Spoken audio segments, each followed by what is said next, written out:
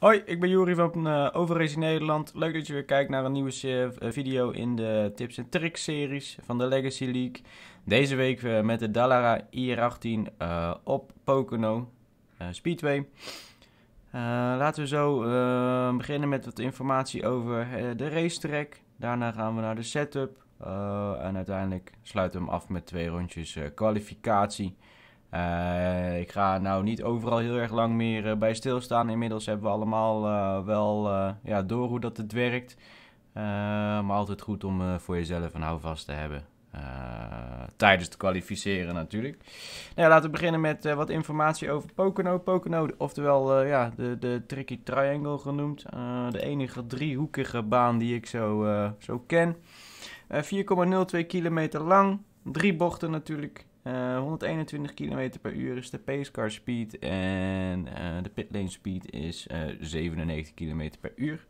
Er zit op deze auto's gelukkig een, een pitlimiter, dus dat maakt het een hoop makkelijker. Ja, voor deze auto zijn er vier iRacing setups beschikbaar vanuit iRacing zelf. de Legacy denk ik en de nieuwe geüpdaten. voor mijzelf merk ik dat deze wat, uh, wat fijner rijdt. Dus ik pak de kwalificatiesetup uh, voor Pocono 2016. Uh, dit hebben we allemaal inmiddels wel gezien. Het enige wat interessant is om te benoemen is de transparent screen. Dan wordt de teenslipper van je Halo zeg maar doorzichtig. het schijnt zo te zijn dat je in, de, in het echt met de twee ogen er langs kijkt zeg maar in 3D. En in 2D is dat eigenlijk niet uh, te simuleren. Nou goed, uh, de pitstraat bij de groene pion hier eindigt die. Bij de blauwe pion in de verte eindigt de pitlane exit. Rijden kwalificatie setup. Doen een snelle ronde.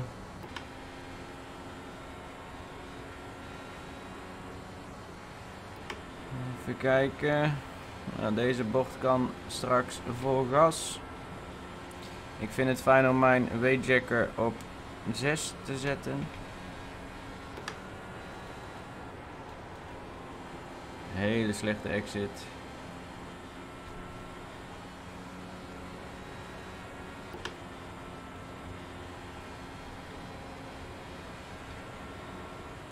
Deze bocht kan net niet vol gas. Bocht 1.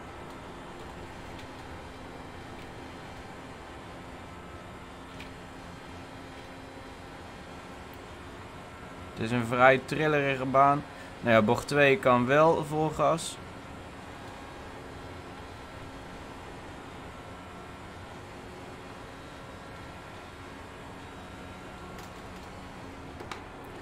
Gas iets los. Terugschakelen naar de 5 van de curbing afblijven. Blijf daar vanaf. dat heb je wel gezien.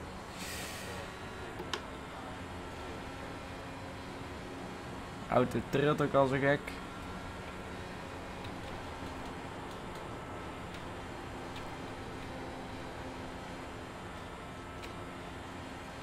Mijn force feedback denk ik iets te hoog staan. Het is wat het is.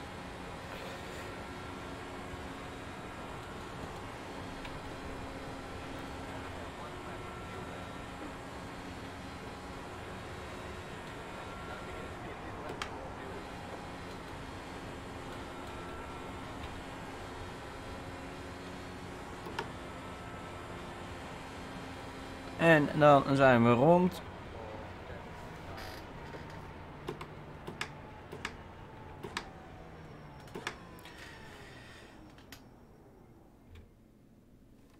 Nou, nog één laatste tip voor in de race. Uh, als je achter iemand zit, lift dan vooral.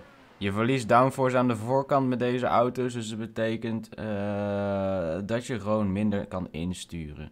Houd het in gedachten voor, uh, voor maandagavond. En dan ga ik jullie veel succes en plezier wensen bij uh, de trainingen en natuurlijk de race. Tot dan!